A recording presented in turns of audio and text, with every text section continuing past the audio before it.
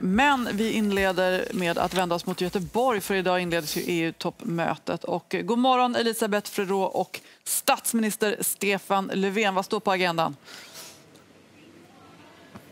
God morgon. Vi står här ute på Eriksberg i Göteborg där, i den lokal där 25 stats och regeringschefer från EU om en liten stund ska inleda det här toppmötet som ska handla om sociala frågor, det vill säga arbetsmarknad och utbildning och jämställdhet och allt möjligt.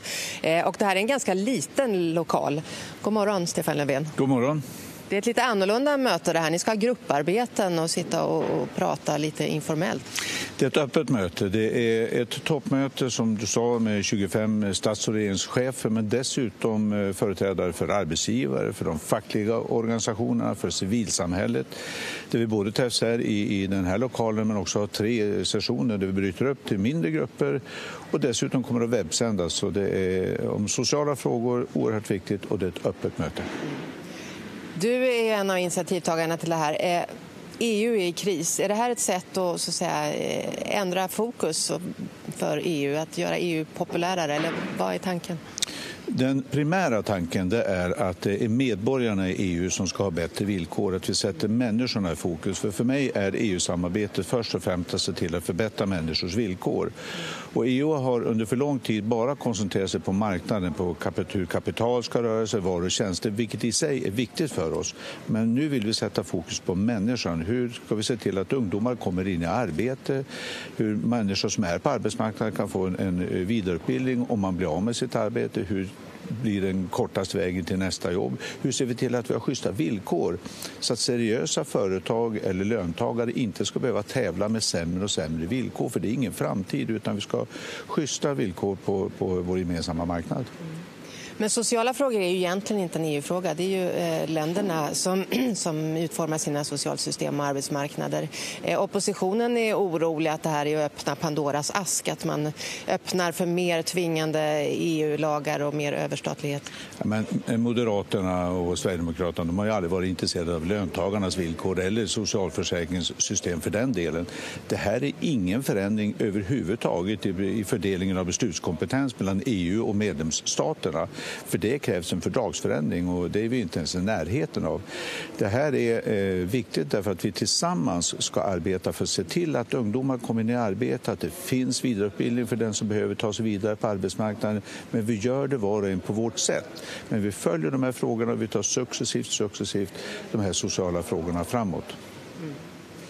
Eh. Men länderna är väldigt oense om hur man ska nå de här målen eh, som man nu sätter upp. Eh, Sverige är ju van vid att arbetsmarknadens parter reglerar arbetsmarknaden medan andra ligger på hårt för minimilöner och så vidare.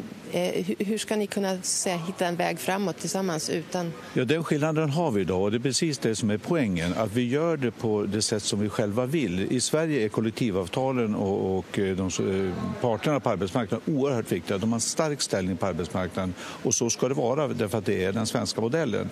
Om ett annat land vill lagstifta om minimilöner så må ju de få göra det men vi ska behålla våra kollektivavtal.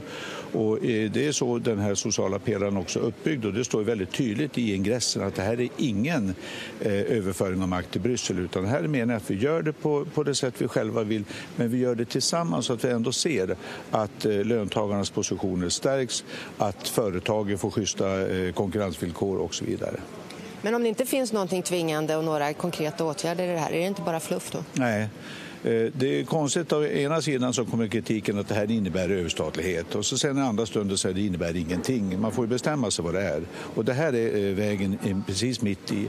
Att vi tillsammans nu tittar på de här principerna. Hur ska vi öka jämställdheten så att kvinnor får samma tillgång till arbetsmarknaden som män? Hur ska vi se till att vi löntagare inte behöver tävla med sämre löner, sämre villkor? Hur ser vi till att ungdomar kommer in på arbetsmarknaden? Och så får var och en fundera, hur gör vi nu det i Sverige, eller Spanien eller Slovenien. Och sen mäter vi av om ett visst tag. Hur gick det nu? Vem har gjort bäst ifrån sig? Och vad var det som gjorde att det här landet kom så väl ut? Då kan vi lära av varandra. Men successivt, successivt flyttar vi fram positionerna så att vi får ett starkare socialt Europa där vi ställer folket i mitten. Tack så mycket, Stefan Löfven. Tack så mycket. Och eh, toppmötet börjar alltså här klockan halv tio i Eriksberg i Göteborg.